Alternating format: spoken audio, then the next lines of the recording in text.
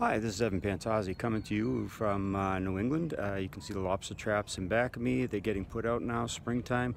Gonna have some fresh uh, New England lobster pretty soon. Kind of exciting because that's uh, a wonderful dish. Uh, if you've never been to New England, you got to get on up here.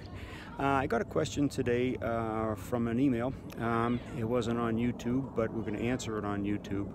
Um, it's uh, why Kyusho isn't more widely accepted.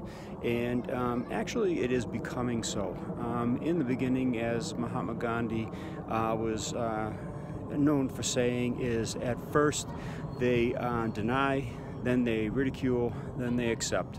Well, we've gone through um, the denials for sure, and we still got a lot of denials out there. It's not going to be an instantaneous um, changeover for people, no matter how much work you show um, the founders of their styles um, uh, went through uh, to get the Kyusho into their styles, even documented it in their books and their um, writings and their trainings, uh, but it's now being ignored. And then, of course, um, the ridicule. Uh, people made fun of us because uh, we'd be hitting the, pe the people, and there was all sorts of uh, uh, chars against us. It's like eh, funny, you're hitting the guy.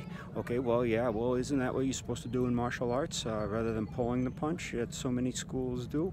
Yeah, we hit each other, and yeah, we knock each other down. Yeah, we knock each other out. But uh, again, there's no injuries that we've ever sustained in Kyusho. Um, we've had a couple of the catchers receive an injury, but not from the Kyusho itself. Um, know of a man that um, ripped a bicep muscle trying to catch a guy, and why we don't even catch him anymore. And we found out that the people that fall, much like uh, being drunk in a car accident or falling down a flight of stairs drunk, uh, they don't get hurt so much. Um, yeah, they feel the pain, they get the results, um, and they pass out, but they don't have the damage uh, from the fall. Uh, that's because the body loosens up and uh, that's what was intended by nature. Anyway, they made fun of us for hitting people. Um, then they made fun of us for um, doing the techniques and uh, knocking each other out, which I, I, don't get the correlation there. But um, now they look at us and they make fun of us for whatever reason. Um, some of the uniforms we wear, uh, just the way we um, take apart the katas and investigate them. And uh, to me, that's what we're here for. Now, the old masters, they all uh, traded information amongst each other. And why shouldn't we? And it doesn't matter what kata you study or what version. Yeah, they made fun of the versions of the katas we do too. You know what? The katas are just a vehicle. They're not the live-all, end-all of the martial arts. They're a vehicle for training, okay? And once you get it, it's uh, your kata. You imagine what you will in it. You train it as you wish. Um, you train it as your body allows sometimes. You know, you get older, things don't work the way they used to.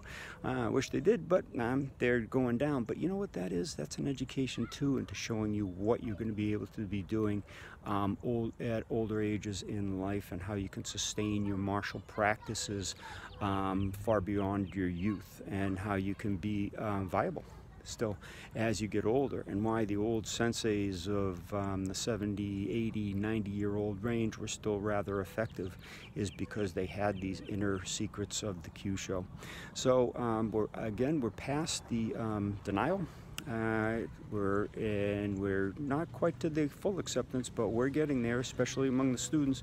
Instructors are still being stalwarts and uh, staying away from it for the most part, for whatever reason. Um, maybe fear that they don't know the information and they'll seem like a beginner.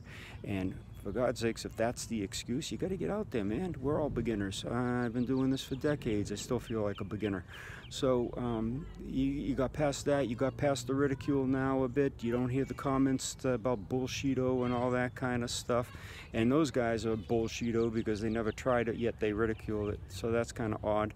Uh, but now uh, we're going into acceptance. And again, the students are flocking to the seminars. Um, uh, unfortunately, the instructors aren't. We'll get them there eventually because they're going to have to. Once the students start coming back from the seminars with the information, the instructors are going to have to know it as well. So uh, those are the three stages. Uh, again, we're into the acceptance stage and you're going to see Kyusho bloom and we hope to take it um, to the next level with all of you uh, in a sensible, safe, and ethical manner. So thanks for tuning in. And remember, subscribe to the channel and then uh, forward your questions. We'll answer it here on YouTube.